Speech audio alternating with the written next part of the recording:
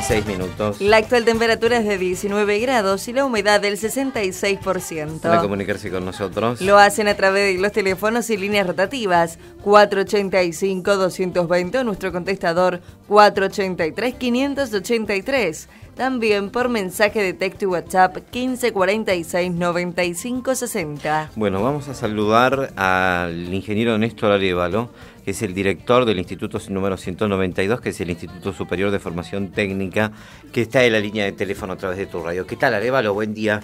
Buen día, ¿cómo le va? Gracias por el contacto. ¿eh? No, por favor. Bueno, a ver, ¿han comenzado ya el dictado de clases en el instituto? Eh, comenzaron precisamente el día lunes. La semana anterior tuvimos eh, unos talleres de, inducción y esta semana iniciaron las clases. Aríbalo, ¿cuántas son las carreras que se dictan en este instituto?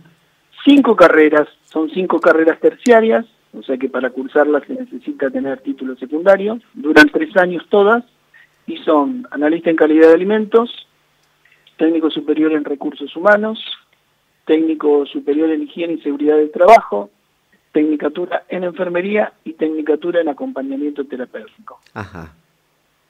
Eh, en comparación, a mí no me gustan las comparaciones, pero digo para que la, audiencia lo pueda entender, con un bachillerato, por ejemplo, ¿cuál es la diferencia entre una tecnicatura y un bachillerato?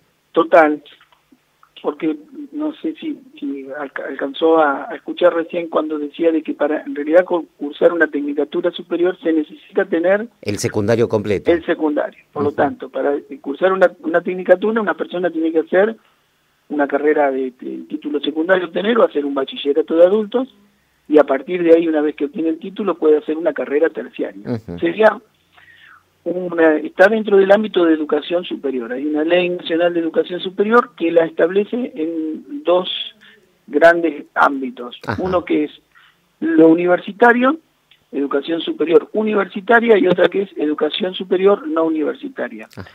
En ese universo se ubican, por ejemplo, para ubicarnos en Varadero, los institutos superiores de formación docente, como es el Marco Sastre, sí. y los institutos superiores de formación técnica, como es el Instituto 192. Ingeniero, y son, este, yo lo escuchaba mencionar recién, a la mayoría relacionadas con los recursos humanos, con el medio ambiente, etcétera, ¿no? Las carreras que se están dictando allí. Bueno, por las características de Varadero, por la diversidad, porque Varadero tiene un perfil que abarca tres grandes dimensiones, la parte de servicios, la parte industrial, eh, la parte de comercio. Eh, nosotros tenemos carreras variadas. Hay dos carreras que son del ámbito de la salud, una que es enfermería y otra que es acompañante terapéutico.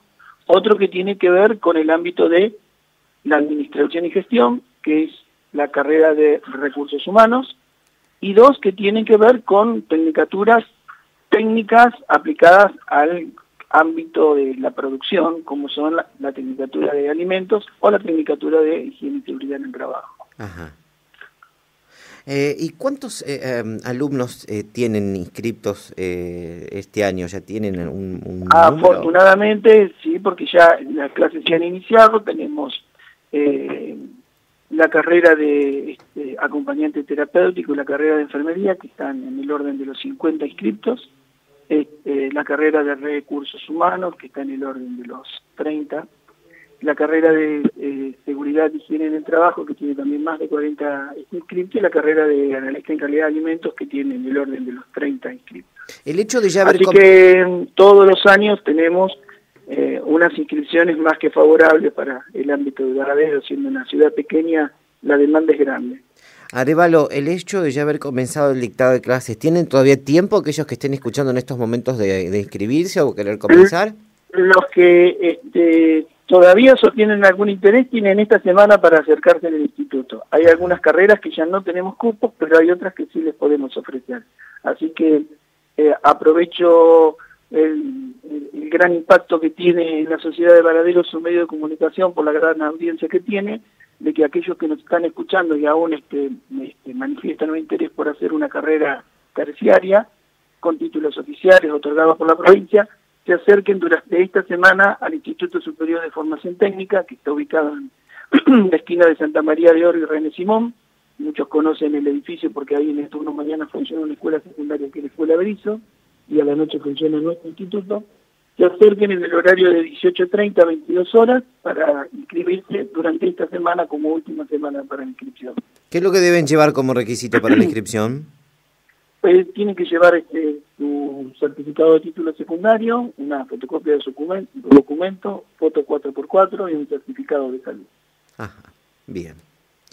Ingeniero, gracias por el contacto. ¿eh? Le dejo un saludo. No, le agradecemos a ustedes la preocupación, este, no solamente la preocupación, que se ocupa permanentemente de la educación de Varadero y en definir las propuestas de nivel terciario que se están dando en, en nuestra institución y que también le hacen a nuestra comunidad. Muchas gracias. ¿eh? No, gracias a ustedes. Hasta luego.